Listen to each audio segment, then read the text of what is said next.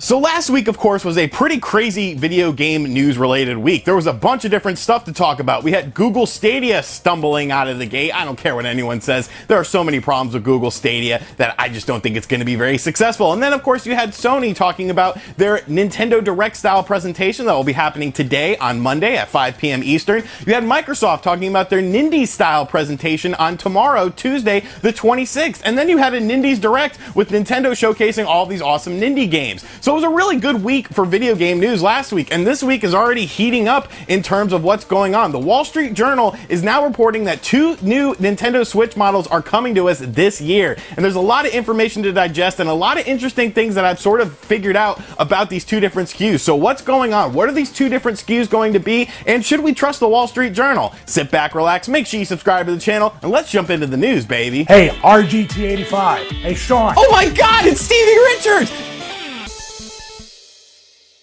Briefly catch you up to speed, you might remember that late last year, the Wall Street Journal started talking about that Nintendo was releasing a revision to the Nintendo Switch model. And there were two different trains of thought with this model. One with train of thought was going to be that this was going to be a successor to the 3DS, a cheaper Nintendo Switch model that will probably get more people in the door with the Nintendo Switch. The other train of thought was that it was going to be a Switch Pro model, a beefed up model of the Nintendo Switch that would run games better and potentially have better specs than the baseline Nintendo Nintendo Switch model that we have. But people were pretty much divided into those two camps. If you watch my videos on the subject, I kind of went back and forth. Initially, I figured it was just going to be a cheaper Nintendo Switch model, a essentially Switch Mini, but then I thought maybe it could be a Switch Pro. We actually got some information that we have to talk about today that sort of ties into this train of thought with the potential Nintendo Switch Pro. But now, according to the Wall Street Journal, both of these are going to be coming.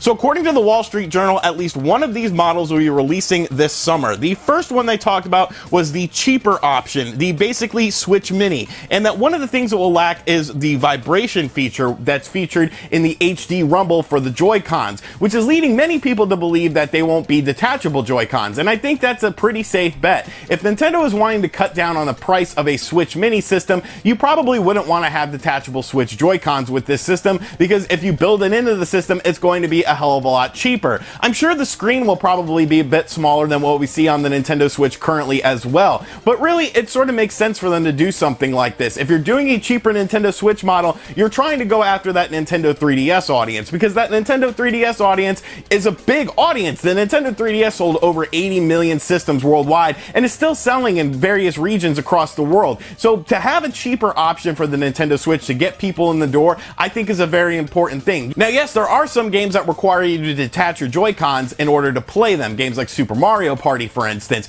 But I don't think it would be that big of a deal for people. If they have to miss out on a few different games in order to get a cheaper Nintendo Switch system, I think that's a good thing. I think people will gravitate towards that, and if they miss out on a few games, oh well, not a big deal. I'm sure there will be a way that you can actually attach additional Joy-Cons to the system as well when you're playing in tabletop mode or something like that. So it seems like a really smart decision for me. I think it would be very successful, and it may actually encourage people to pick up a second Nintendo Switch because one of the complaints about the Nintendo Switch is, of course, the size of the system. A lot of people, although it is designed to be both a home console and a portable console, a lot of people feel like that the Nintendo Switch is just a bit too big and a bit too bulky to be truly a portable system. If you're slimming down the system and making it more ergonomically designed, I think that's a really good thing, and people may actually want to pick up a second Nintendo Switch system, depending on the price point of this thing, in order to play their games on the go and not have to worry about damaging their main Nintendo Switch. But of course, the more interesting of the two subjects, at least to me personally, would have to be the fact that Nintendo is indeed working on a more powerful Nintendo Switch, a Nintendo Switch XL or Nintendo Switch Pro, as some people are calling it. And honestly, that would make a lot of sense to me. A lot of people seem to be under this mindset that Nintendo Switch's next system, the Pro system, is going to have its own library of games, and I think that's just silly. Although we did see things like this with the Nintendo 3DS, where they did multiple SKUs of the system, where you had the 3DS, the 2DS, and of course the new 3DS lineup of systems.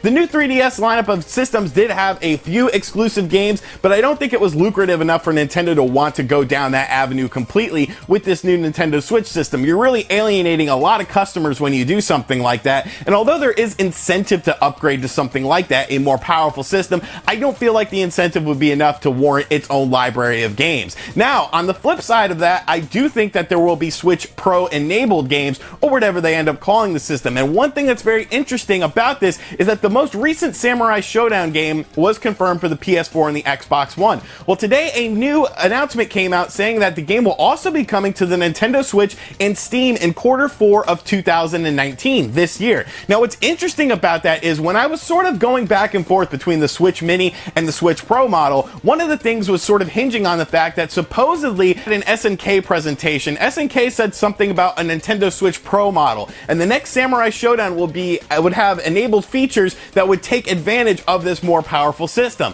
Now, of course, after that came out, a lot of people weren't able to sort of verify that information was given, and a lot of people chalked it up to a mistranslation. But now that we're seeing Samurai Shodown come out in quarter four 2019 for the Nintendo Switch, after supposedly this new Samurai Shodown wasn't even going to be, be coming to the platform to begin with, and now it's coming out, and now we're getting these rumors about a Nintendo Switch Pro model, I think that's sort of proof that there is definitely going to be a Nintendo Switch Pro model. I don't think it's a coincidence that all of a sudden SNK is talking about Samurai Shodown coming to the Nintendo Switch, and there supposedly was going to be Switch enabled features or Switch Pro enabled features in this version of the game, and then all of a sudden now we're getting all these rumors about a Nintendo Switch Pro model. Well, there's smoke, there's fire, people, and I just do not believe that this is a sheer coincidence. Of course, there are a lot of Nintendo Switch games that would benefit from this boost in power, and you're starting to see even developers do things with Nintendo Switch games. We just reviewed Unravel 2 on the channel yesterday, and one of the things about Unravel 2 was the fact that you could switch between graphics and performance mode.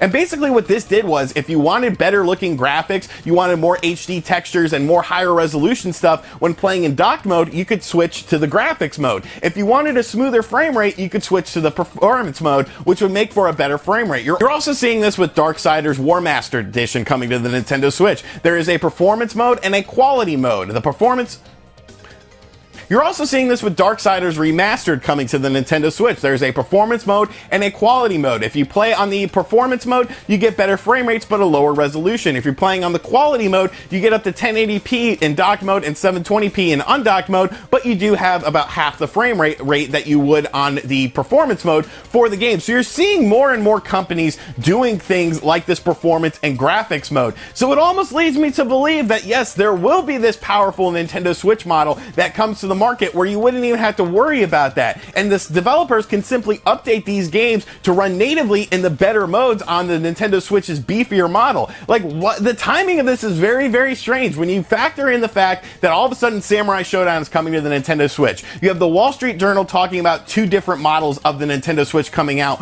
one of them being more powerful. And now you have developers starting to put these different graphics mode and performance mode in their third party games. It really just sort of adds up. And I think it makes perfect sense. I definitely think that the smaller Nintendo Switch, the Nintendo Switch Mini, the one designed to replace the 3DS, will probably be the first system that we see out on the market. If one of them is coming to us in the summertime, as being reported by the Wall Street Journal, then I think the Switch Mini would be the first onto the market. A cheaper system, probably around $200, that will basically be a portable Nintendo Switch, a fully portable Nintendo Switch with probably cheaper materials, and like we said, it will have the HD rumble removed and probably non-detachable detachable Joy-Cons. And then you, in the holiday season, you can unload this Nintendo Switch Pro model at maybe $350, $400. It's really going to be interesting to see what happens to the baseline Nintendo Switch model as far as pricing is concerned. If they can make this upcoming Nintendo Switch Mini $150 to $200, would you leave the standard Nintendo Switch at 300 and then do the Switch Pro at 400 or would you try to bring all of those numbers down? It's really going to be an interesting time to see how Nintendo tackles this,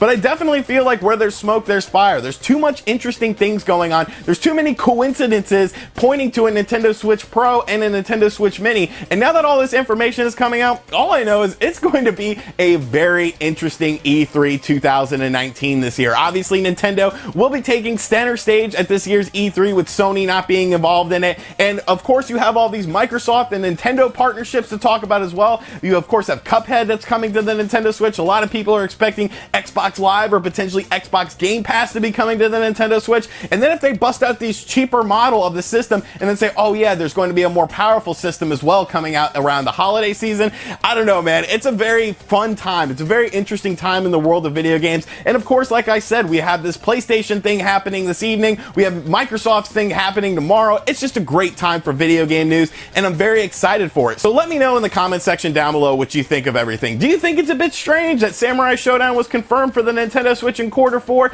right as Wall Street Journal says that there's a pro model of the Nintendo Switch and a cheaper model coming to the Nintendo Switch? Do you think it's a coincidence that all of a sudden a lot of third party games are starting to have graphics mode and performance mode for these games? And do you think it is a wise decision for Nintendo to introduce two new SKUs into the marketplace, a cheaper one and a more powerful one to keep this Switch momentum going? And as always, thank you guys for checking out this video. If you're new to the channel, make sure you subscribe and turn on notifications. Check out other videos on the channel. Like I said, take a look at that Unravel 2 video to see the difference between graphics mode and performance mode on the Nintendo Switch. And as always, I will catch you guys on the next video.